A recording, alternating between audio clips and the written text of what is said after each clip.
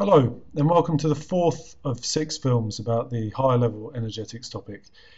Again, we're looking at Born Haber cycles here, but um, rather than introducing the principles, we're going to go over all those things that we talked about in the first film um, by basically carrying out a worked example. So, the sort of things we're going to review are um, identifying the species and processes that are taking part, uh, taking place at each stage of a Born-Haber cycle, and we're going to carry out a sample calculation, and we're going to see also uh, towards the end of this film how the degree of covalent character in an ionic bond might help explain any differences that we observe between an experimental and a calculated value for a lattice enthalpy. Okay, I think the best way to review all the things that we've done is to construct a Born-Haber cycle from this data and to talk about what I'm doing at each stage and then to find this thing that we're being asked to find, the electron affinity of oxygen or the second electron affinity of oxygen. Now I'm slightly worried that um, I'm not going to be able to fit all this on the screen, but let's have a go. Okay, what we know is that we can take magnesium and react it with oxygen. Oops. It's not a very good start. Let's try again. We can take magnesium as a solid and react it with oxygen, which is a gas in its standard state. And we can form one mole of magnesium oxide. Okay? And if we form one mole of a substance from its elements in their standard states, then this is the enthalpy of formation, the standard enthalpy of formation. And we're told here that the standard enthalpy of formation of magnesium oxide is minus 602 kilojoules per mole. Okay, I'm also told the lattice enthalpy of magnesium oxide, so I'm just going to extend this line a bit here so that we've got as much room as possible over here on the right. This is the lattice enthalpy okay, of magnesium oxide, and remember the definition of that that is taking one mole of an ionic substance and turning it into its gaseous ions.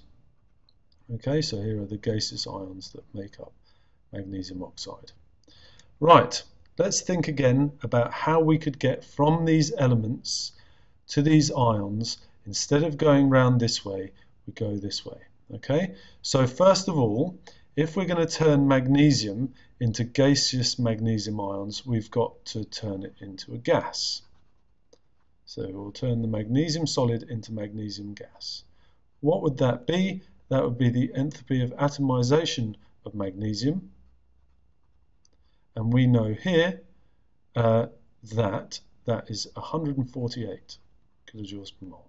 Okay, we've still got a half O2 as a gas here. Okay, nothing's changed about the oxygen yet. Now, if we want to turn it into a 2 plus ion, we've got to take an electron away from it.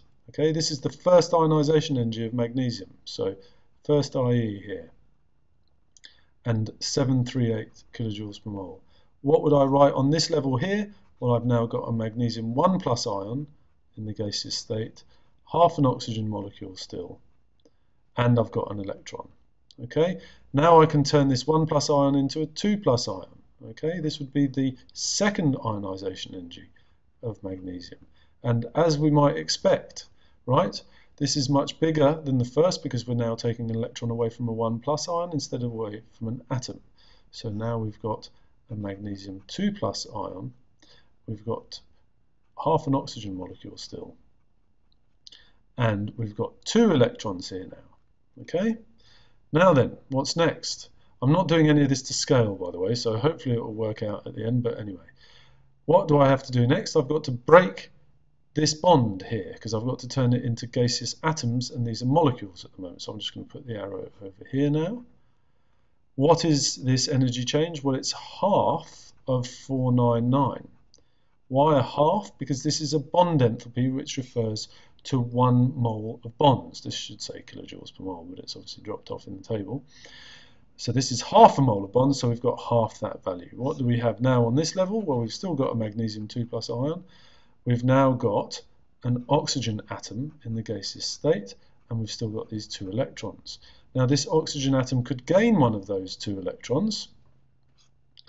Okay, I'm just deliberately doing this as bigger than that size because I know I've got to go up on the next level, but anyway. So now if it gained one, I'd end up with magnesium 2 plus, which would still be a gas, even though I didn't show that here or here.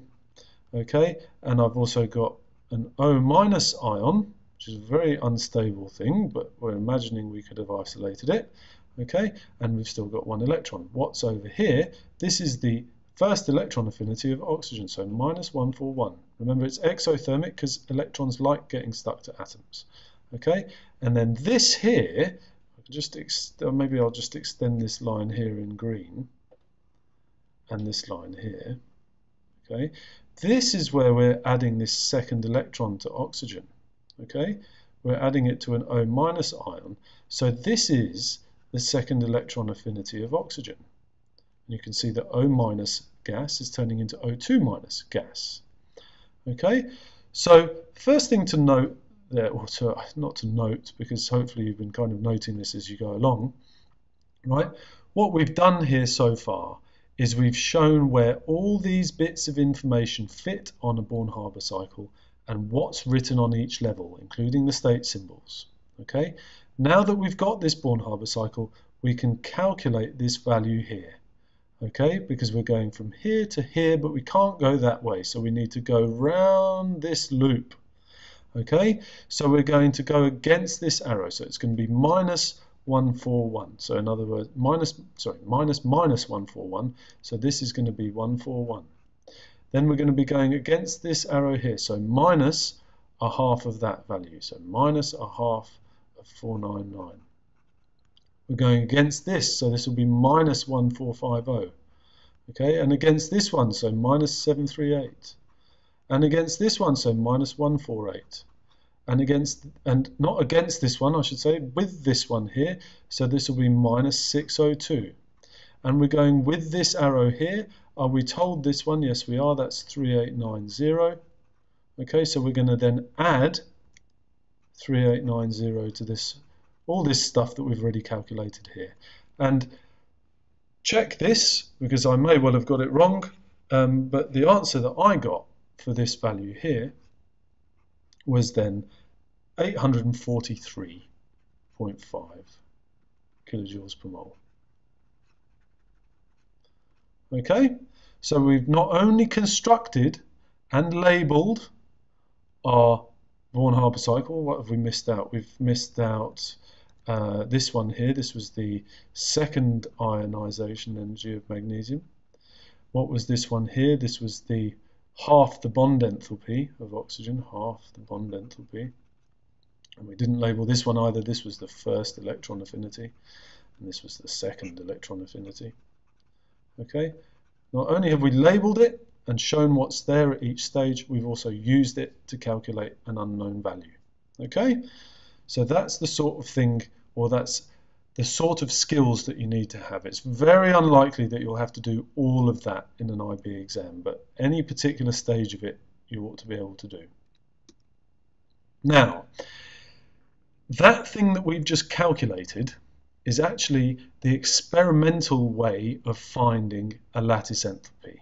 Okay, because each of the values was found from an experimental or from an experiment, we can find the, a missing value and call it an experimental value. Lattice enthalpies are also calculated using electrostatic principles, so taking into consideration the charge on ions and their size, we can calculate how much energy it ought to take to break them up per mole of lattice, right? We can't do that in an IB exam, certainly not, okay? That's way beyond what we have to do, but it can be done. And what we can what we can be asked to do in an IB exam is to compare this experimental value, sorry, compare this experimental value that we've found from a Born-Haber cycle with a calculated value. And sometimes we find that they're quite different. Now, it's important to realize that the calculated value is based on purely ionic bonding. Okay? Now, this means that if uh, an atom, like a silver atom, were to give an electron to an atom like iodine and form a great big ion like an iodide ion and a very small ion like a silver ion, If it was purely ionic bonding, then this electron would remain completely in control of the iodine, or the iodide ion. But because this ion is quite small and because it can pull some of this electron density back towards it, it can distort this ion here. These electrons that are on the iodide ion can end up kind of in the space between these two ions and now this ionic bond takes on some covalent character. Okay, so there will be discrepancies between the experimental and the calculated values if the bond has a significant degree of covalent character. That is to say, if the negative ion is distorted significantly by the positive ion. These electrons are pulled back towards it. When will the largest discrepancies arise? Well, that's when this ion has a very, very big electron cloud that is easily distorted. And this is a very, very small ion that has a lot of polarizing power or a lot of ability to distort electron clouds. So the largest discrepancies will arise when there's a big difference in the size of the ions, when this is a highly charged ion, and when this is a very large negative ion. Okay, or in other words, I suppose you could say when the electro electronegativity differences between these two atoms aren't that big. Okay, so look out for those kind of questions. Why is there a difference between them? Well, because the calculated values are based purely on ionic interactions, whereas in actual fact, there can be some covalent character to an ionic bond, and when will there be the most covalent character? That's when the largest discrepancies arise, and that's this situation that we've just been describing here. Okay, the good news is that's the end of Born-Haber cycles, and there's nothing else to do about them. There is now some stuff about entropy and Gibbs free energy coming up, but I think by comparison it's quite simple. So hopefully you understand how to draw a Born-Haber cycle and how to label all the species and processes there. Um, and also you can kind of think about the fact that bonding in an ionic lattice is unlikely to be purely ionic, and that can lead to some discrepancies between experimental and calculated values. Please make sure, if you get confused by any of this stuff, that you come and ask as quickly as you can or post a comment on YouTube, because it shouldn't be too difficult to get full marks on these questions once you've understood it.